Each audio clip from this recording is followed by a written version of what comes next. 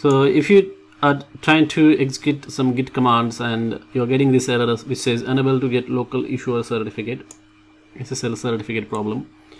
So if you face this issue what happens is that there is a problem with your SSL certificate and to get around this issue what you need to do is you need to use this command called as git config global http dot ssl verify false. So what we are telling here is that we are configuring our git in such a way that it will uh, ignore this SSL verification and then you will be able to clone your repository or do other operations. So that is how I fixed my uh, error that I was getting when I was trying to clone the git repository. And uh, after executing this command basically what it does is that it adds this uh, http ssl verify false line in the configuration of the git and then